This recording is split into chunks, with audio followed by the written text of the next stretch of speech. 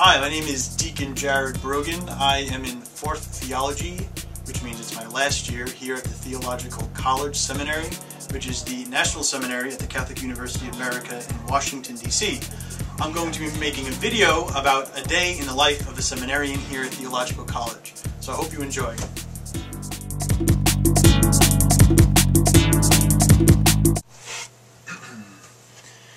It is now 6.45 in the morning and what I do every morning is I go upstairs to the fifth floor private um, Blessed Sacrament Chapel and I spend, I do my holy hour there each morning um, where I pray part of the office, I usually pray the rosary, um, I do some spiritual reading and just spend some quiet time in prayer and reflection. I do that each morning because it's important to do that each day and I find for myself that if I don't do it first thing in the morning once classes begin and other responsibilities come in for the day, it's very hard to find an hour of time to do that. And so I usually do it first thing in the morning. So it's 6.45 and at 7.45 I meet the rest of the community um, in the main chapel for morning prayer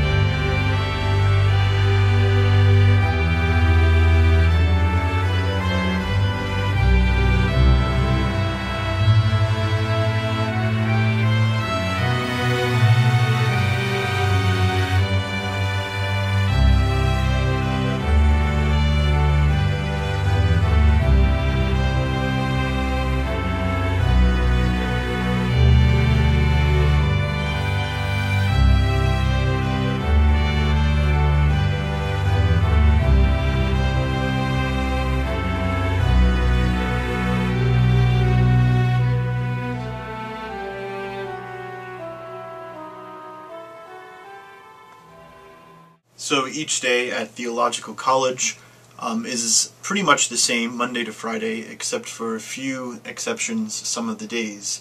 But every morning at 7.45, the whole community has to gather in the chapel, either for Mass by itself, morning prayer by itself, or Mass and morning prayer combined.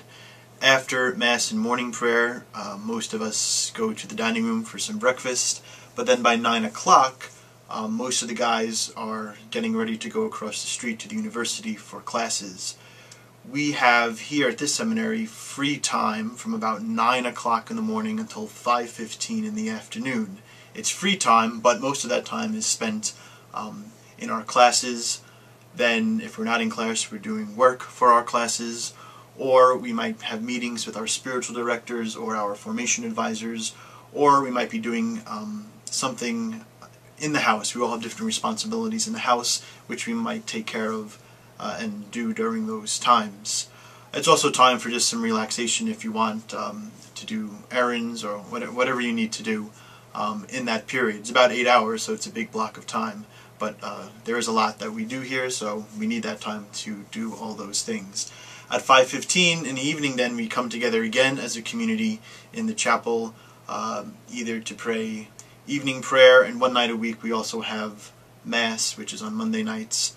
And sometimes an evening prayer is done within um, the context of a holy hour, and once in a while we also pray um, a rosary together as a house.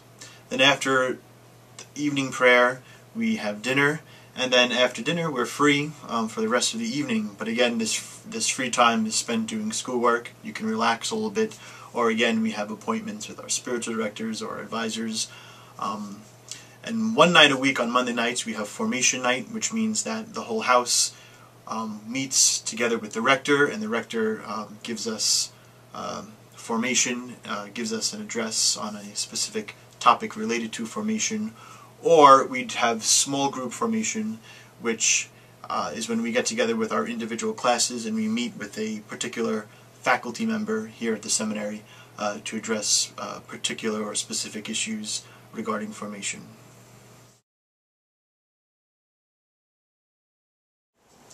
You have eaten then from the tree of which I had forbidden you to eat. And he stationed the cherubim and the fiery revolving sword to guard the way to the tree of life. The word of the Lord. Thanks be to God.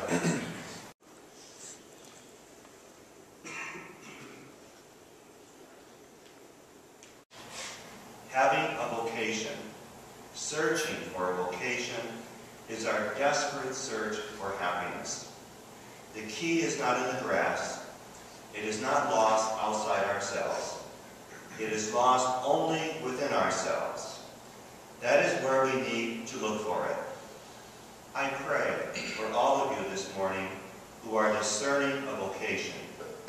All of you who are reasonably sure you have found your vocation. And together, in gratitude, we pray that we may no longer be in the woods.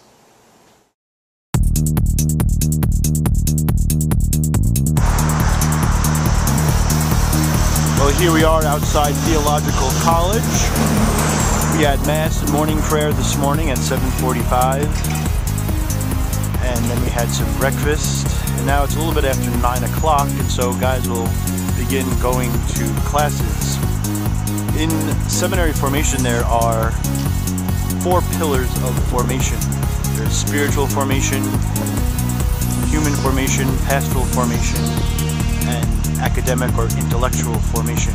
And theological college is very unique when it comes to this because not all of the formation takes place in the seminary. Here at Theological College, the Sulpician Fathers, who are the priests that are on the faculty at the seminary, are responsible for our spiritual formation, human formation, and pastoral formation. Our academic or intellectual formation takes place at Catholic University, which is conveniently located right across the street. There's the Basilica the National Shrine of the Immaculate Conception, which is on the campus of Catholic University. And then the university goes all the way behind it. Lots of different buildings there. So all we have to do is walk across the street. Most other seminaries in the United States have their academic and intellectual formation take place within the seminary, but we are a little unique here. The biggest challenge for us is to get across Michigan Avenue without getting hit by a car. So, off to class we go. Outside the seminary, we have the statue of the Sede Sapientiae, which is Our Lady Seat of Wisdom, who is sort of a patroness of the Sulpician Fathers. And throughout the seminary, we have many images and statues of Our Lady Seat of Wisdom.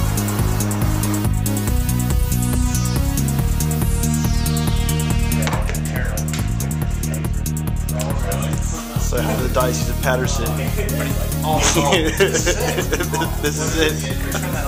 It's Deacon Mike Lee from Paterson and Deacon Jeff Core from the Diocese of Spokane, Washington. And Deacon Nick Reed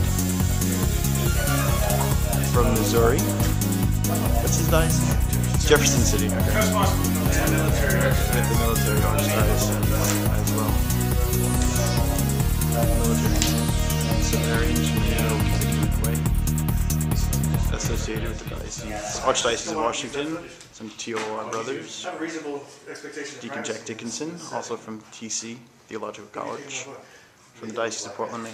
Very early for class time, many people here. See.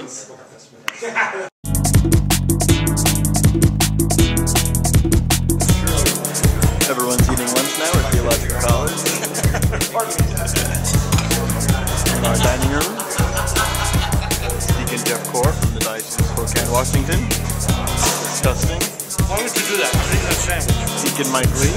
We met him before. He's from Paterson. This is Scott Homer, who is a second theologian from the Archdiocese of Washington. This is for a day in the life of a seminarian from the Diocese of Paterson. This is it. Exactly.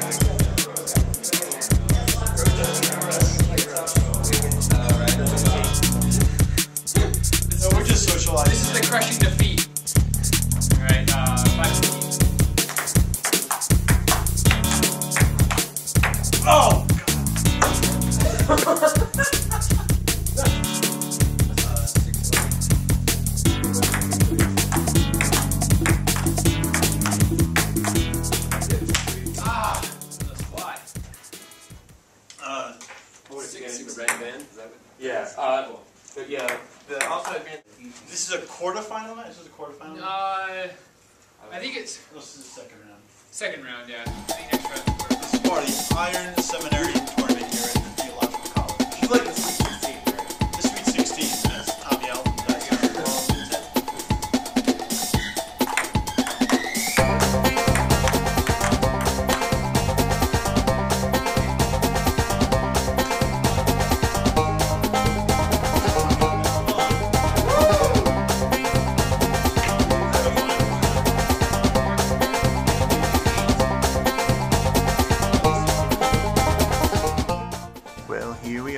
in class, third class of the day.